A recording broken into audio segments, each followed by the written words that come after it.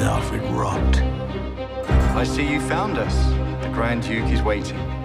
I'm so glad you accepted my invitation. I'm an architect, not a builder. You're a visionary, Mr. Horn. But are you asking me to design a mausoleum? My mausoleum. This is obviously a very personal thing. Stay a few more days here and then decide. This island is full of surprises, Mr. Horn.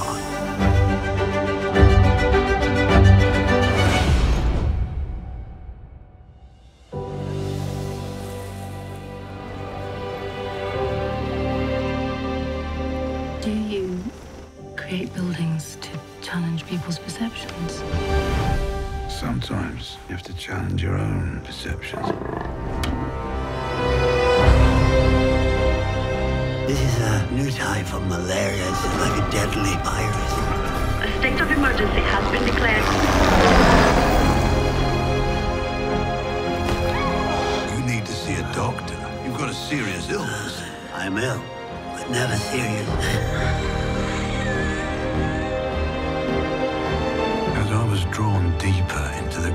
the Duke's world, I had the uncomfortable feeling of looking into a mirror.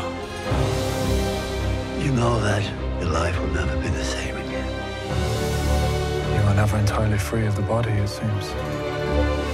But are you an architect? I am, but I've been called worse. I hope you enjoyed your time here with me. I'll let you know when it's over. What part I played in this story, I cannot tell you. Just pay close attention.